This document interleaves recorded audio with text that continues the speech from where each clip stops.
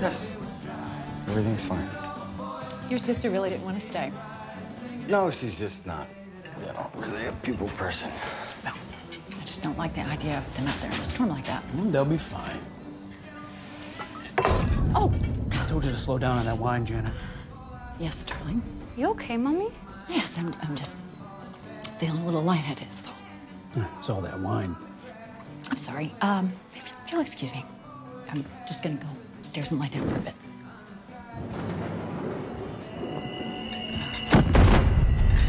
Janet?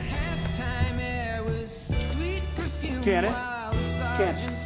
Janet? Janet!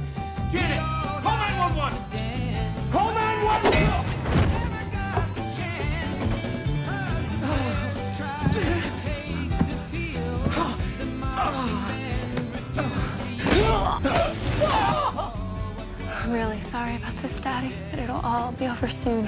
I promise.